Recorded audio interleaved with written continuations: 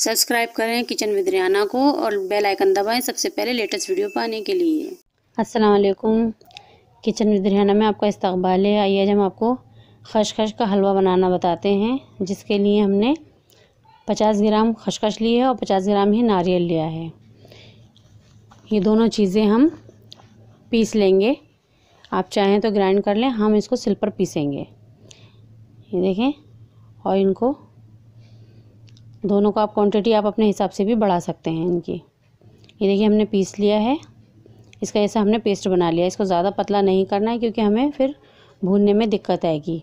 ये हमने देसी घी लिया है और इसको हमने हल्का सा गरम किया है और इसमें जो हम ड्राई फ्रूट डालेंगे, वो पहले फ्राई करके निकाल लेंगे। ये देखिए, हमारे फ्राई हो चुके हैं। ड्राई फ्रूट आप अपनी मनपसंद डाल सकते हैं, जैसी आपकी मर्ज़ी हो।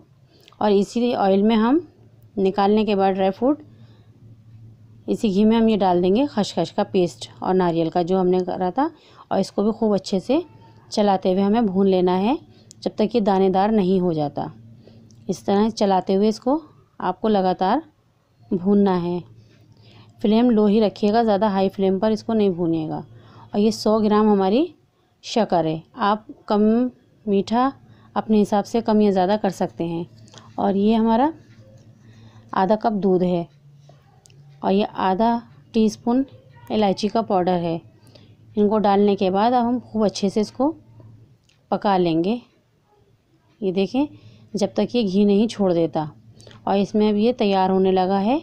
ये घी छोड़ने लगा है। अब इसको हम चलाते हुए बराबर